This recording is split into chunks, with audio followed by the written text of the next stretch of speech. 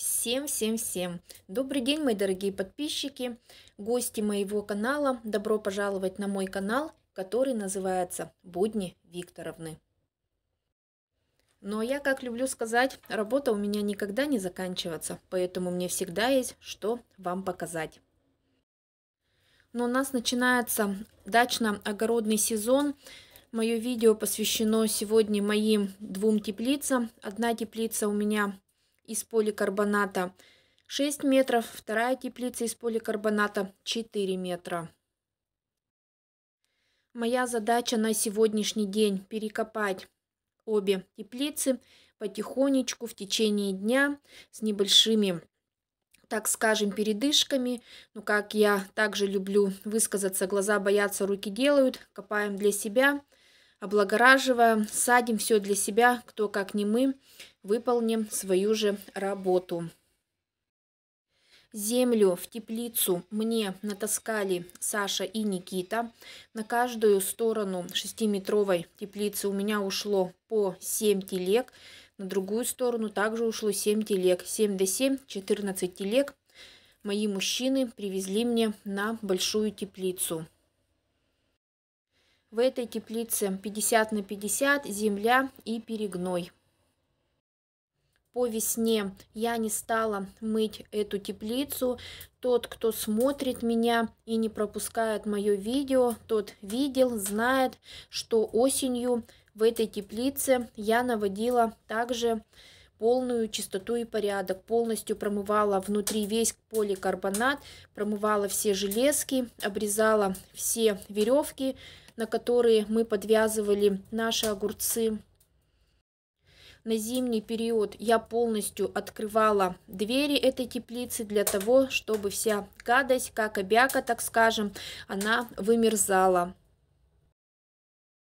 Земля у нас в теплицах очень мягкая. Как вы видели, я копала на штык лопаты. Абсолютно без всяких усилий. Земля мягкая, земля податливая.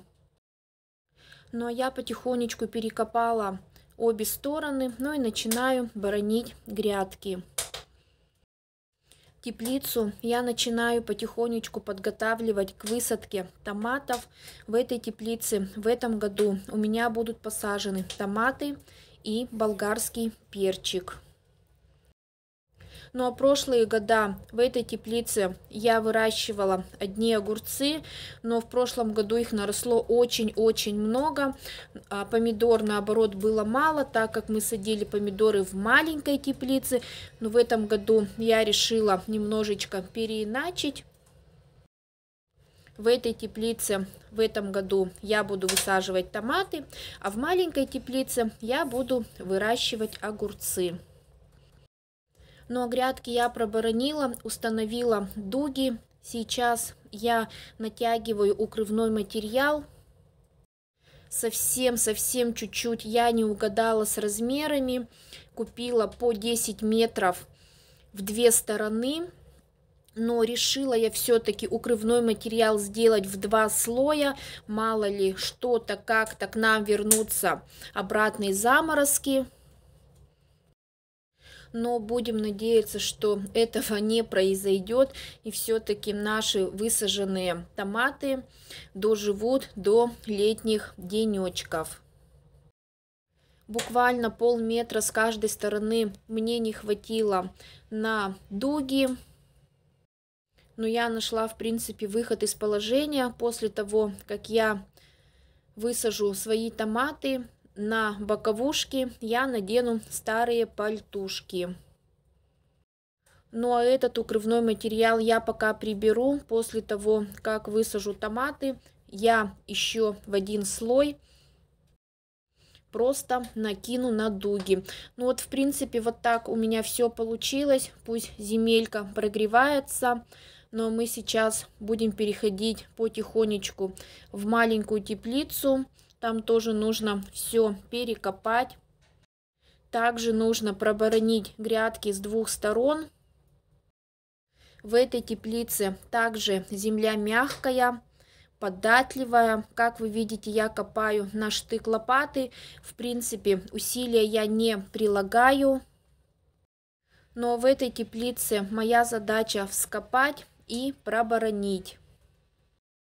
Также эту теплицу по осени я мыла, промывала полностью внутри весь поликарбонат, мыла железки и обрезала полностью все старые веревки. В этой теплице я вам уже сказала, что будут высажены огурцы. Земельку мне также натаскали Саша и Никита. Но после того, как я докопаю свои грядочки и пробороню, просто вымету вот этот проход. Ну и на этом я буду подходить к завершению своей работы. Вот такое маленькое для вас видео я сегодня опубликовала. Как вы все понимаете, это видео из 6 минут 20 секунд, конечно же, на всю мою работу у меня ушло гораздо больше времени. Но вам я хочу сказать всем спасибо, что вы меня смотрите. Всем спасибо за подписку. Советуйте мой канал. Я вас всех люблю. Всем пока-пока.